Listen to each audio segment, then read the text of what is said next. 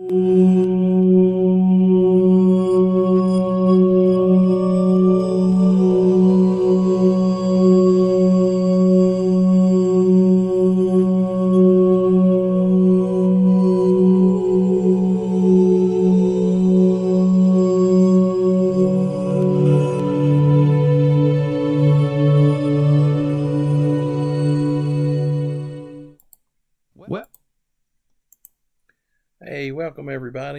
Thank you for joining me today for another Bible study.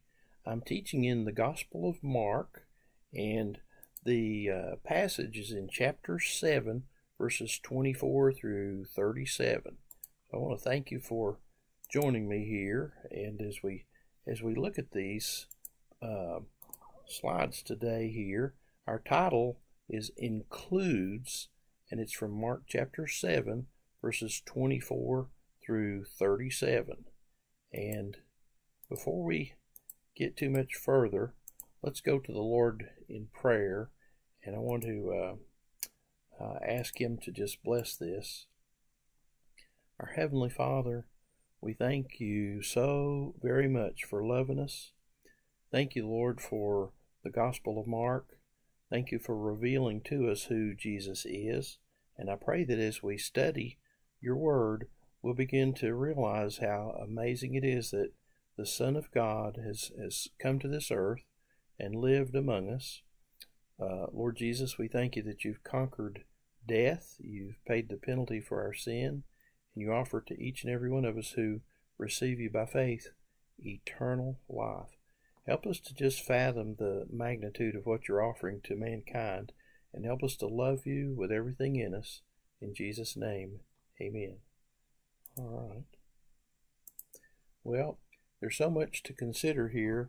I'll start start setting the stage in the Gospel of Mark chapter 1 we see that Jesus is introduced as the son of God and you can't overestimate the importance of the son of God having come into this world uh, he's going to perform many different miracles they're displays of his power, they're proofs of his deity. These things were done uh, publicly. Uh, many of um, many many people were eyewitnesses to the earthly ministry of Jesus Christ. Uh, many experienced healings. Many experienced deliverance from demons. Uh, many heard his teachings. Some were literally raised from the dead. And uh, the Gospel of Mark is a pretty fast moving account of what happens when the Son of God comes to this world and begins to reveal himself to mankind. So there you have it. Let's look at the so let's look at this together as we uh, as we go through uh, the Gospel of Mark, chapter seven, verse twenty-four through thirty-seven. Basically, an overview of the lesson. Jesus extends mercy to all people Whosoever will call upon his name shall be saved. Uh, offer the hope of Jesus to social outcasts. All of us who believe in Christ are to offer Jesus to the whole world, preach the gospel to every person in every nation, and offer the hope of Jesus. All mankind is faced with the prospect of death, and no one is going to escape it. But when you study the Gospels, you see Jesus himself has come into this world, become fully human as, as well as fully God at all times, and then he died on a cross. Uh, it looked to, for all practical purposes, like he was he was finished, but on the third day he rose from the dead. He was resurrected, and uh, he offers all who will receive him by faith the opportunity to join him on the other side of physical death in an eternal kingdom. So we offer hope of Jesus to social outcasts, you know, or all people actually, and we want to show individual care to people with physical challenges. Jesus healed uh, the disabled. Uh, no matter what the disability was, he was able to, to heal them completely. So we want to show care to those that ha- may have disabilities or physical challenges of any kind and sooner or later, uh, most of us are going to have something there. Well, Jesus is the one to turn to. And we need to remain focused on the redemption that's provided to all through Jesus alone. Redemption meaning complete deliverance from the penalties for the sins and uh, uh, acceptance into the kingdom of God where you have eternal life and can enjoy God's presence forever. Well, the passage begins here in chapter 7 of Mark, verse 24, and the dejected is the title. He got up and departed from there to the region of Tyre. He entered a house and did not want anyone to know, but he could not escape notice. Instead, immediately after hearing about him, a woman whose little daughter had an unclean spirit came and fell at his feet. The woman was a Gentile, not a Jew. She was a Syrophoenician by birth, and she was asking him to cast the demon out of her daughter. He said to her, Let the children be fed first, because it isn't right to take the children's bread and throw it to the dogs. Now, from what I can tell, this uh, uh, understanding here is the little pet dogs that you would find in a home. It's not the derogatory insult that it sounds like. Uh, the Jews, the typically the Jews might think of the unbelieving Gentiles as dogs, which was really a derogatory term, but in this case, it's more like a, uh, a puppy, uh, someone uh, that's that's maybe under the table uh, in the master's house. But it's not it's not the total insult that you would think.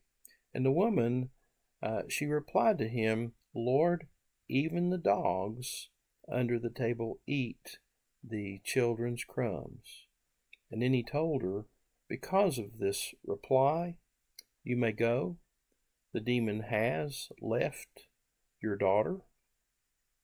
When she went back to her home, she found her child lying on the bed, and the demon was gone. So we now have Jesus listening to the plea of a mother of a demon possessed child. There was no hope for that child without Jesus' assistance. So Jesus heard her plea and then he listened to her response. She believed he could deliver her daughter. And Jesus had uh, uh already fed a multitude of people. He had been arguing with religious leaders and uh, the Jesus was trying to sort of get off the grid and go out for a while just to relax and take the disciples. And even in Tyre, that was a Gentile area north of Galilee, he was recognized and sought out. So the woman came uh, and asked Jesus basically to heal her daughter. Uh, this daughter had an evil spirit, and uh, Mark described her as Syrophoenician, and she uh, she was not the target group of Jesus's ministry. He was coming to minister to the Jews, and he basically shared that with her. Um, but she's begging him for help, and Jesus' compassion, his heart is touched, and Jews were often referring to Gentiles as dogs. That's a pretty derogatory term for wild dogs, maybe mongrels. But Jesus used a different word for this lady it suggested puppies or house pets. And Jesus basically told her he was called to feed the children, which he was talking about the Jews, the children of Israel. He's called to feed them and not the house pets. Well, the woman accepted the truth of what Jesus was saying, but she pointed out that prioritizing the Jews didn't necessarily exclude the uh, Gentiles. Um, she saw maybe that Jesus could reach out to the Gentiles as well, and she had high hopes that he would indeed. Well, Jesus told her that because of her response, uh, her expression of faith, and she, she knew he could deliver her daughter, he responded to her and did what she asked. And Mark's um, original readers, well, they would have associated this account with uh, God's plans for salvation for the non Jews or the Gentiles, as we're called. Anyone that's not Jewish is a Gentile, and God does intend to reach out to all people everywhere, not just the Jews. And here's an, uh, an incident where a Gentile approached Jesus during his earthly ministry, and he received her request and he released her daughter from the demon possession that she uh, was experiencing. So it's an amazing, uh, absolutely amazing thing there when you think about it. And um, we see that the demon was gone. And then this is a summary of chapter 7, verses 24 through 30. Jesus entered a house in the Gentile region of Tyre as part of a futile effort to go unnoticed by the crowds that hounded him. I can't imagine what life was like for him. Uh, everywhere he went, he was essentially mobbed, and a Gentile woman approached Jesus and asked him simply to heal her daughter. When Jesus pointed out actually that the Jews should take priority over the Gentiles, the woman agreed. However, she added that the priority did not exclude the Gentiles completely. Um, and Jesus affirmed her reply, and he declared that the woman, um, he declared that the demon had left her daughter. The woman returned home to find that the demon was gone, just as, just as Jesus said. Well, let's move to the next section here. This is to do with the deaf. Um, so he took him away from the crowd. I'm sorry, let's see here. I missed a slide. All right. All right.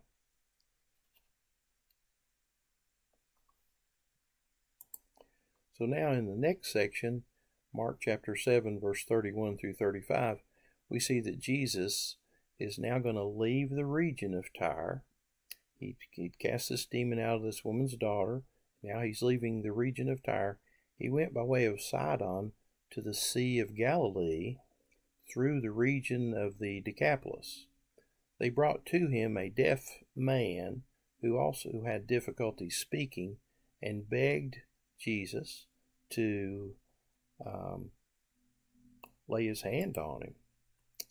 So he took him away from the crowd in private, and after putting his fingers in the man's ears and spitting, he touched his tongue and looking up to heaven, he sighed deeply and said to him, Ephphatha, that is, be opened.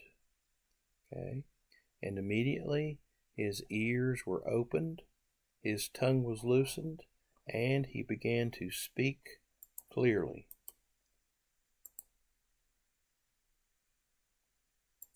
All right.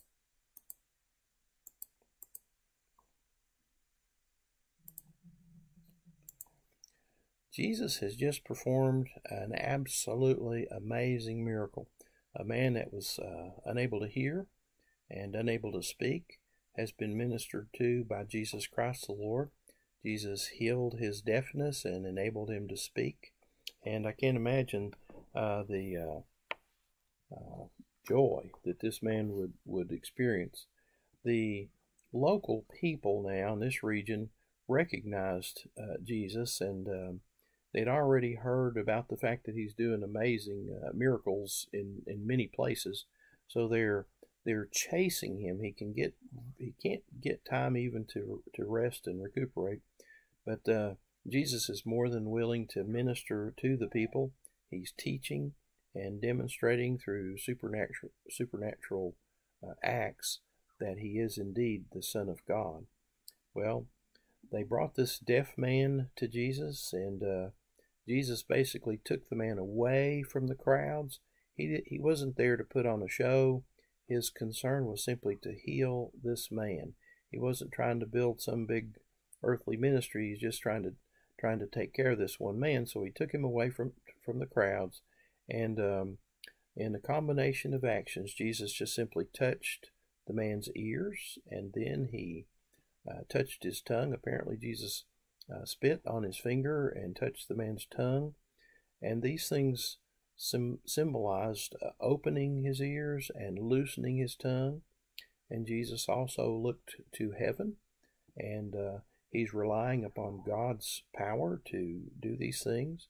And the Aramaic word that Jesus spoke, uh, ephphatha, means be opened. And that is exactly what happened to the man's ears, and his tongue was enabled to speak. And we um, we know we see Jesus's power being revealed here.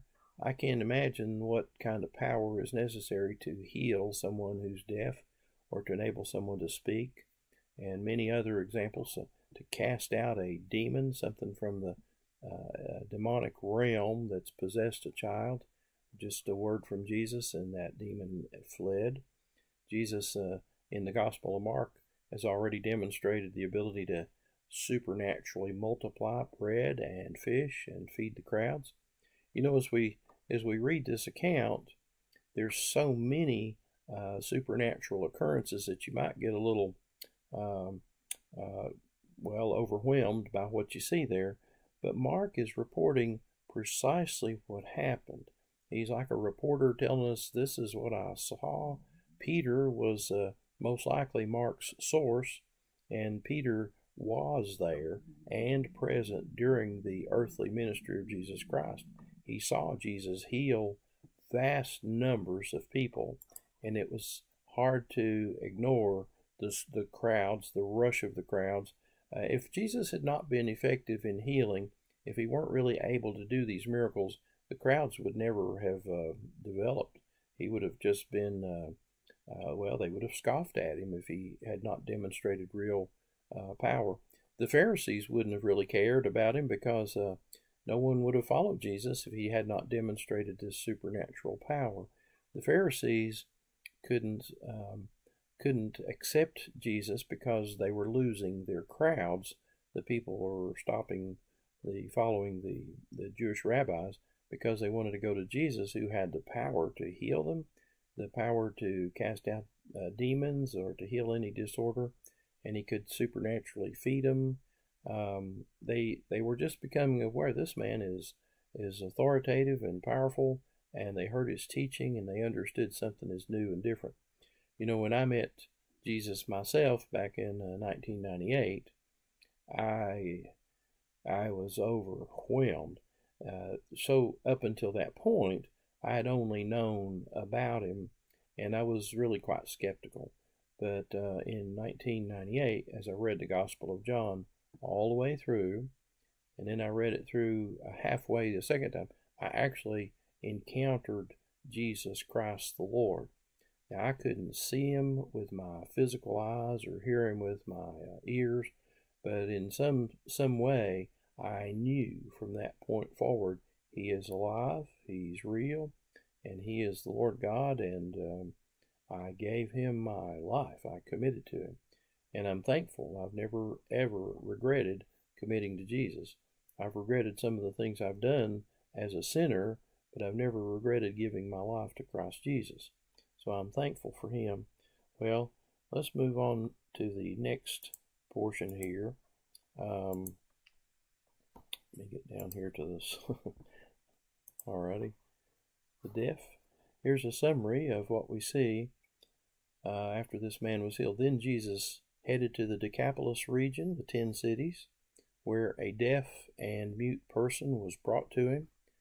And just matter of fact, Jesus healed him by placing his fingers in the man's ears and touching the man's tongue with spit on his fingers. And then um, we uh, we see Jesus uh, ordering everyone to tell no one about it. Um, he ordered them to tell no one, but the more he ordered them, the more they proclaimed it. It's a hard secret to keep here.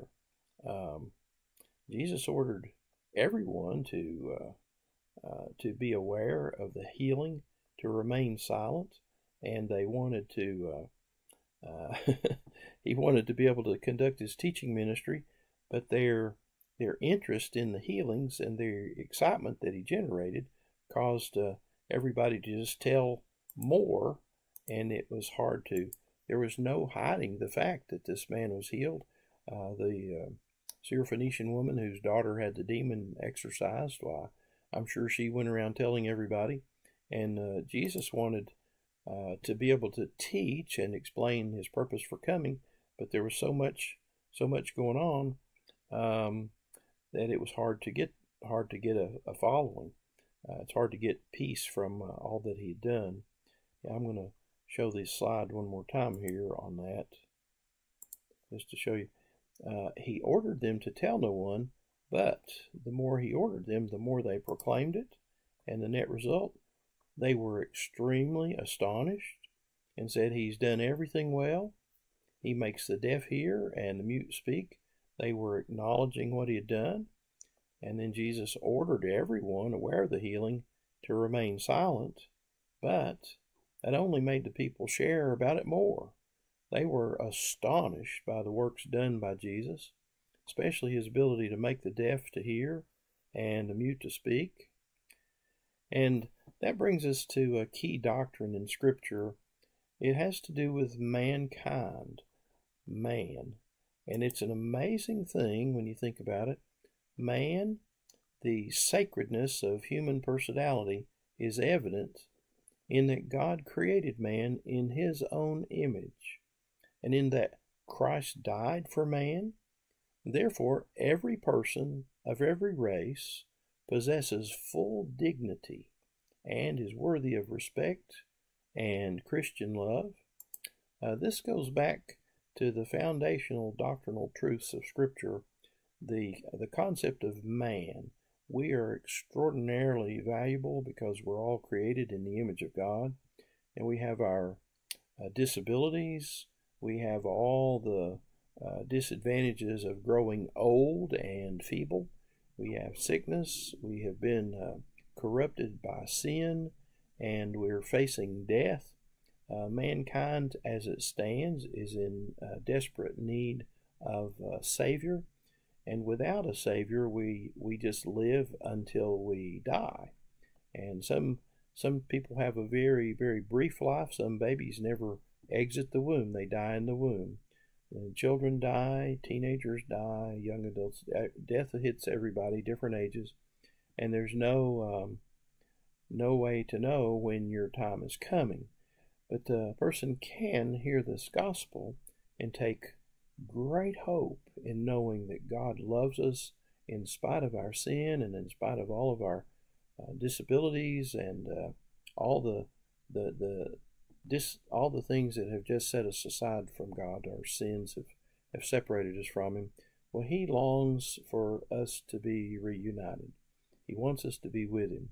And if we'll simply acknowledge that we we need Him, we need to understand, we need to acknowledge that we've been marred by sin, we are sinners. We need someone to step in and uh, take the penalty for our sins, and that one would be Jesus Christ the Lord. Well, He He presents Himself as the Savior, and we need to recognize Him as the Savior that He is, and then we need to um, uh, invite Him or, or receive Him uh, as our Lord and as our Savior. And those who do, why, He will absolutely forgive and uh, and restore you to full uh, fellowship with God. It says we'll literally become children of God. So let me show you these uh, doctrinal truths and some of the verses to back them up. Man, the this is the doctrine of man in Scripture. The sacredness of human personality is evident in that God created man in his own image. And in that, Christ died for man. And therefore, every person of every race possesses full dignity and is worthy of respect and Christian love. Folks, if they're human, they're worthy of respect. Jesus Christ has died for all people. It is not His will that any should perish. It is His will that all come to repentance and, and faith in Him. If we go back to the very beginning of the Bible, Genesis chapter 1, verse 26, here's the origins of man. It's good to remember who made us, who created us.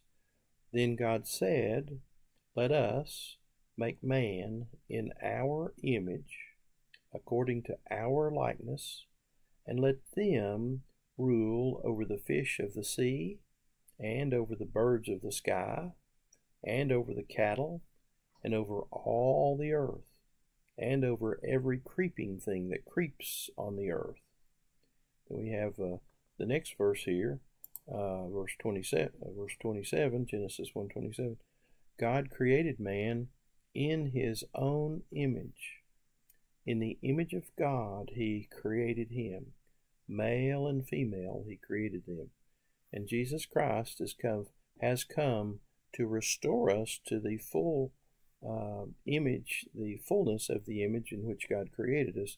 We will literally become like Jesus. If we receive Jesus by faith, um, Jesus has actually become a life giving spirit, and he, um, he, he wants to reveal himself here to us. Let's see, I'm having a little trouble. Alrighty. Jesus Christ was crucified. He died on that cross. They buried his body. Uh, during that time, he said, Father, into your hands I commit my spirit. So his spirit went to be with the Father. But on the third day, God raised Jesus from the dead. His spirit uh, and body uh, became united again, and he's fully alive now and forever. There is a human being who is fully God, seated on the throne in heaven. That is my Savior. His name is Jesus the Lord.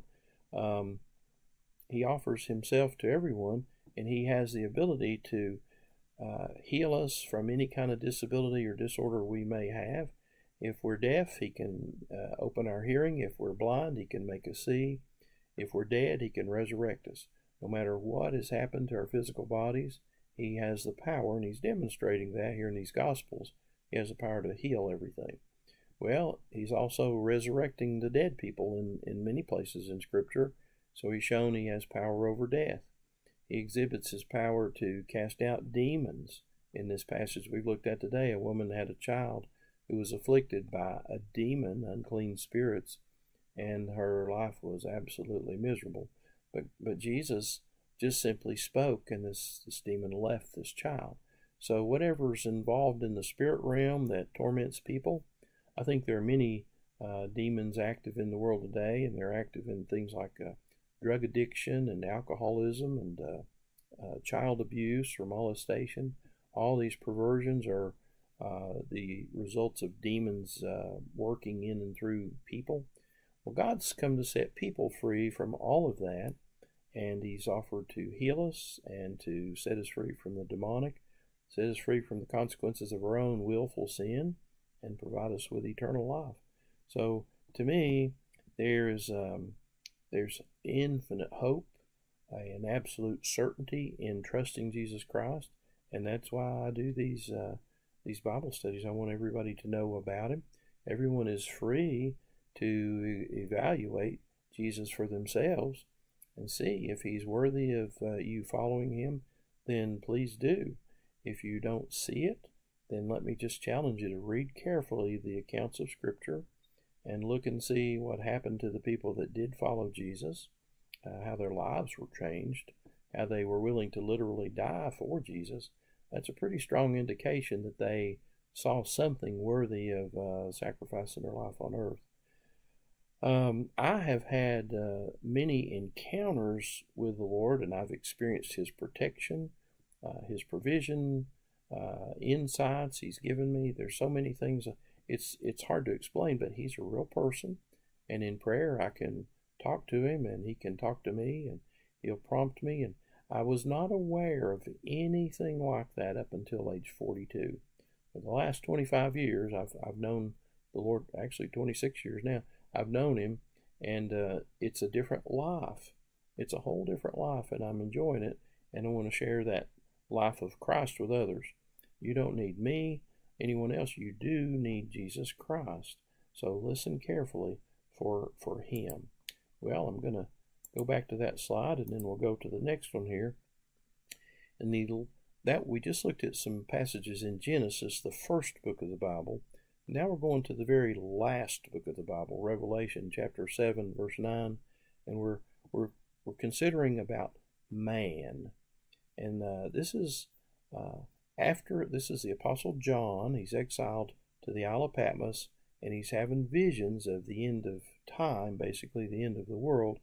And he says, After these things I looked, and behold, a great multitude which no one could count from every nation and all tribes and peoples and tongues standing before the throne and before the Lamb, that's Jesus, clothed in white robes, and palm branches were in their hand.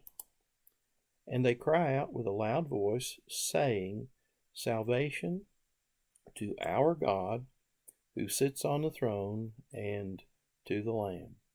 So the um, the people in that day will be praising Lord Jesus Christ. They'll come from all over the world. Every tribe, every tongue, every nation, every people group will be represented there. These are people who believed Jesus Christ is the Son of God. They, they received him by faith. Uh, they understood themselves to be sinners. They acknowledged him as the one and only who could die and pay the penalty for their sins, and also the one and only who could grant them eternal life. Think about that. To have each day, just another day of life, is a tremendous blessing. I'm thrilled now with each day that I have. I've had over 25,000 days so far, and I've come to really treasure each day. Jesus has the authority and the power to grant us an infinite number of days.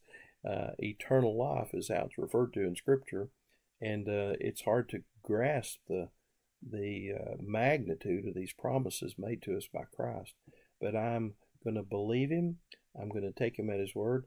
I'll be the first to admit I do not understand everything, how He does things, and but I know I can trust Him. I know Him. I'm uh, trusting Him pretty much like a child. I have simple faith in Him, and I'm sure uh, it's well placed. Well, I would like to uh, continue just a little bit further in that slide presentation here. And as we move forward, this is a summary of the entire lesson. Jesus extends mercy to all people. And you and I who believe, we can offer the hope of Jesus to social outcasts. Everyone is free to make up their own minds concerning Jesus, but we should offer him to everyone for their sake in hopes that they'll come to believe in him and uh, enjoy the salvation only he can offer. And don't leave anyone out in the presentations, offer it to everyone. Will show individual care to people with physical challenges. There are many I've visited in nursing homes and hospices, and I've seen so many physical disabilities, and I know maybe not immediately, but at some point, each one of those people who receive Jesus Christ by faith will have a new body without any uh, physical challenges, no disabilities of any kind. And we want to remain focused on the redemption that is provided to all through Jesus alone. And essentially, everyone who uh, everyone who comes to faith in Christ, you receive him by faith, he will do what he's promised. He offers you and I all the opportunity to join him in his in his eternal kingdom. Well, folks, I love you all, and I, I hope that these things help. I um, I would challenge you just take a look at the Gospel of Mark, read the all 16 chapters, and, and think about what's being given there. And I pray that God will open everyone's spiritual eyes and ears, uh, just as He dealt with this this man that couldn't hear in this passage. He can uh, He can enable us to hear Him with our own spirits from within. He can place His Spirit within us and we can hear Him clearly. Well, may God richly, richly bless you here. And I pray that uh, this uh, lessons will bless you.